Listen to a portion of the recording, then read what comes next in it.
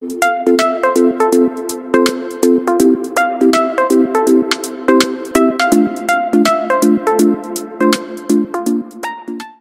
best part of being an entrepreneur is the ability to create something from nothing.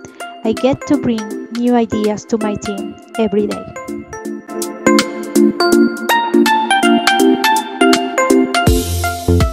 Not having sold the project too early to a pharmaceutical company and have had the courage to increase its value and nowadays launching a new spin-off.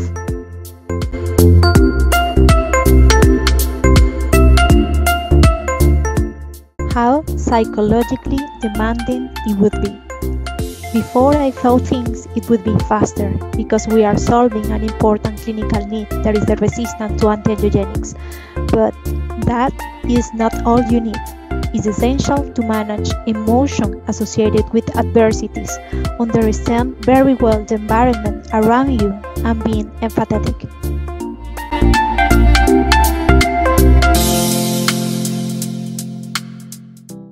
Never stop co-working. Current work events have demonstrated how quickly things can change, so it is crucial to network on behalf of your business continually.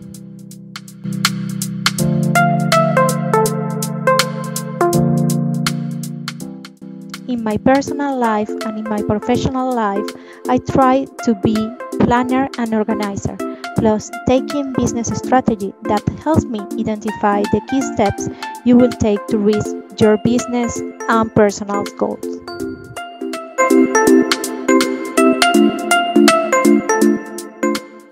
In short term, we want to close our first investment round via getting the resources necessary to reach the regulatory preclinical and having the patient selection biomarker kit developed.